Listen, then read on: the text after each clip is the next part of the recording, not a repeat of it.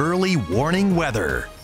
Well, this has certainly been a wet year, but you know, during a normal year, an average year, we receive nearly four feet of uh, rain. That includes rain and the water equivalent of snow and ice.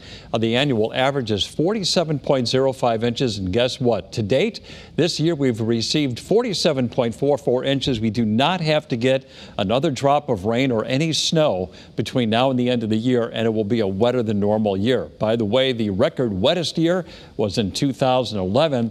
69.23 inches of precipitation.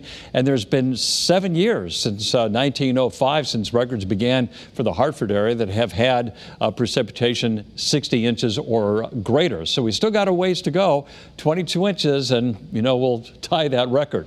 All right, so here's our warning pinpoint Doppler. There may be a few sprinkles in the state, but that's about it. You don't have to really bring an umbrella with you if you plan on uh, maybe taking an evening walk before the sun goes down.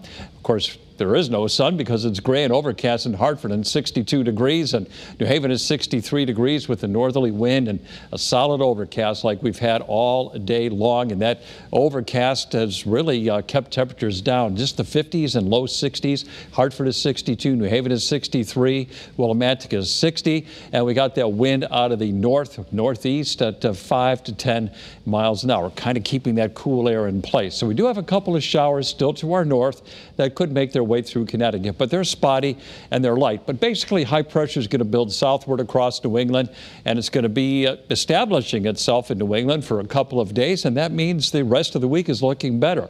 Not tonight so much. It's going to be cloudy. Again, there could be a light shower or a sprinkle, and then tomorrow, morning clouds will give way to a mix of clouds and sunshine for the afternoon. Then as we go into Thursday, I think we'll see uh, somewhat brighter skies, partly to perhaps mostly sunny, especially in in eastern Connecticut. And with the uh, increased sunshine, temperatures are going to be on the rise. All right, so lows tonight 50 to 55, some uh, mid to upper 40s in the Litchfield Hills.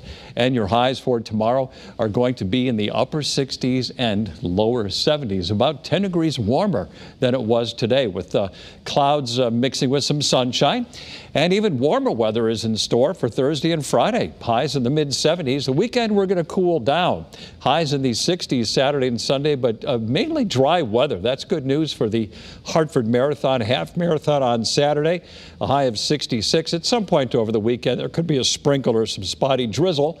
And then with more sunshine Monday and Tuesday, temperatures are going to warm up once again. So a lot of 70s in that seven day forecast. And for the shoreline, 70 or higher tomorrow, Thursday, and Friday. All right. Overall.